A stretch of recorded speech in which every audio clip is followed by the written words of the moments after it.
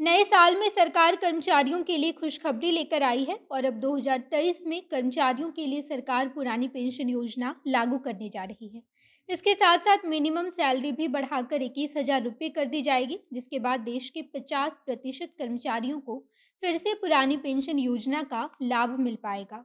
और अब पुरानी पेंशन योजना के तहत केंद्र सरकार के लिए नौकरी करने वाले लोगों को काफ़ी ज़्यादा फ़ायदा होगा अब रिटायर के बाद उन्हें हर महीने पेंशन दी जाएगी। हालाँकि इसमें देश के सभी कर्मचारियों को शामिल नहीं किया गया है और कुछ चुनिंदा कर्मचारी ही पुरानी पेंशन योजना का लाभ उठा पाएँगे। इस वीडियो में हम आपको सब कुछ विस्तार से बताएँगे कि देश के वैसे कौन से कर्मचारी होंगे जिन्हें सरकार पुरानी पेंशन योजना का लाभ देगी और उनकी सैलरी में भी इजाफा करेगी। सब कुछ आपको विस्तार से बताएँगे ताकि आप भी सरकार के द्वारा उठाए गए इस कदम का लाभ ले पाएँ। उससे पहले नमस्कार, मैं नेहा चौधरी, कैमरा पर्सन विशाल के साथ और आप देख रहे हैं जनता जंक्शन। पुरानी पेंशन योजना को लेकर काफ़ी सालों से संघर्ष चल रहा है और अब सरकार इस मुद्दे पर अपनी राय भी पेश कर रही है।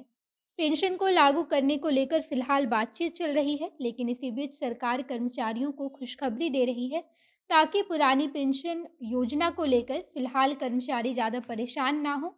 और सरकार इसके बीच का रास्ता निकालते हुए कर्मचारियों की मिनिमम सैलरी बढ़ाने की बात कही है। सरकार की तरफ़ से कहा गया है कि केंद्र सरकार के लिए नौकरी करने वाले सभी कर्मचारियों की मिनिमम सैलरी बढ़ा दी जाएगी और अब उन्हें मिनिमम सैलरी पंद्रह हज़ार रुपये की जगह इक्कीस हज़ार रुपये मिलेगा।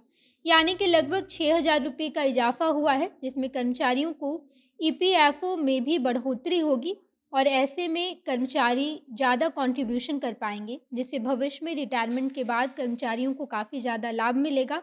सरकार लगभग सात से आठ साल के बाद केंद्र सरकार के लिए काम करने वाले कर्मचारियों की सैलरी में इजाफा की है, जिससे पहले 2014 में मिनिमम सैलरी को बढ़ाया गया था, जिसके बाद 2023 के शुरुआत में फिर से मिनिमम सैलरी को बढ़ाकर इक्कीस हज़ार रुपये कर दिए गए हैं। आपको बता दें कि जब पहले जब मिनिमम सैलरी पंद्रह हज़ार रुपये थे तो उस वक्त सैलरी पर पीएफ का कंट्रीब्यूशन लगभग बारह सौ पचास होता था, लेकिन अब जब बेसिक सैलरी को बढ़ा दिया गया है और अब मिनिमम सैलरी इक्कीस हज़ार रुपये हो गई है तो अब कर्मचारियों की सैलरी से पीएफ का कंट्रीब्यूशन लगभग सत्रह सौ उनचास रुपये का होगा।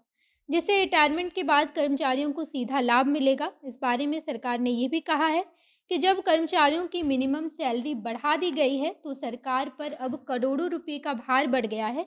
लेकिन इसके बावजूद सरकार कर्मचारियों की बेसिक सैलरी बढ़ा देगी और ये शुरुआत जनवरी महीने से ही कर दी गई है। यानी कि जनवरी के अंतिम दिन ही कर्मचारियों की सैलरी बढ़ा कर दी जाएगी। यानी कि 2023 के पहले दिन से ही कर्मचारियों को सैलरी बढ़ाकर मिलेगा, जिससे देश के लगभग पचास हज़ार कर्मचारियों को राहत मिलेगी।